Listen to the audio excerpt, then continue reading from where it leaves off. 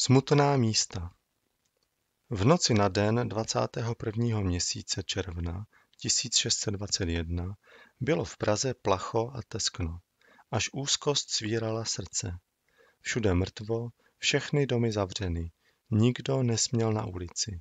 Jen hlídky cizích žoldnéřů procházely městem.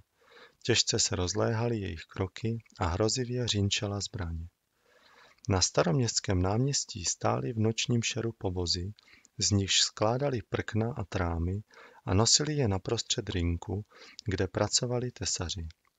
Temné rány seker, bouchání kladiv duněly hrobovým tichem.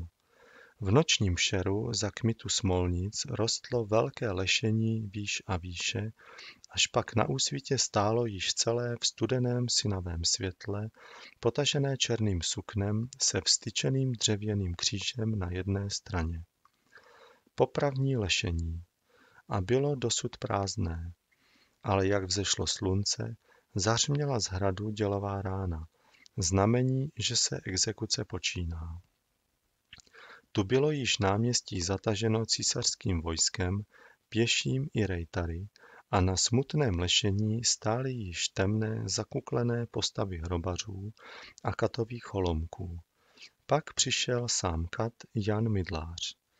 Pak zasedli císařští rychtáři na svá místa, již volali jméno prvního z odsouzených direktorů, vězněných poslední noc ve staroměstské radnici.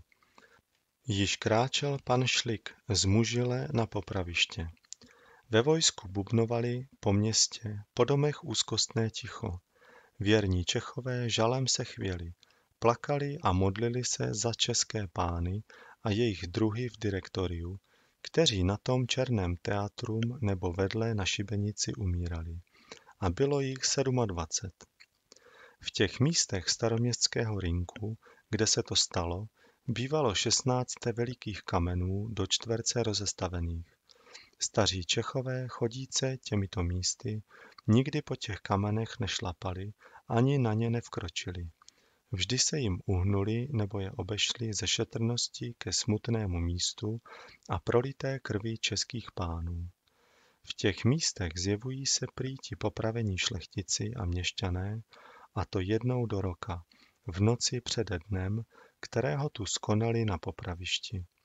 Sejdou se všichni, v jejich čele nejstarší všech, skoro devadesátiletý pan kaplíř ze Sulevic, za ním pan budovec z Budova, pán dlouhé šedé brady, starý konec chlumský, kochan z Prachové, pan Krištof Harant, diviš Černín, pan z Michalovic, Šlik, Oto z Losu, pan z Bílé, Hošťálek, Jesenský, Vodňanský, Vokáč, Jiří Řečický, Kobr, Jizbický a ostatní. Starci i mladší a z těch nejmladší sotva čtyřicetiletý Jan Kutnaur, jenž tak hrdinsky zpívaje umíral. Všichni sejdou se na místě popravy a pak tiše bez hlesu berou se náměstím do Týnského chrámu. Tam pokleknou před oltářem a zbožně přijímají tělo páně pod obojí způsobou a pak zmizejí. Tenkrát stávaly domy i uprostřed dobytčího trhu a jednomu z těch domů, jenž stál směrem k novoměstské radnici, říkali u zámečníků. Asi třicet kroků od tohoto stavení směrem k radnici trčel na volné prostoře kámen pět čtvrtí lokte z výši a loket z šíři. Na tom kameni byl vytesán kříž, pod ním umrlčí hlava a letopočet 1627. Na tomto místě u tohoto kamene dály se prý za starodávna popravy, a to nočního času. Také prý toho roku 1627 skonalo tu několik kněží mečem katovým. A roku 1743 prý několik pánů českých za to, že se přidali k bavorskému kurfirstovi Karlu Albertovi, když se s Francouzi Prahy zmocnil, za českého krále se prohlásil a v kostele svatého Víta se korunovati dal.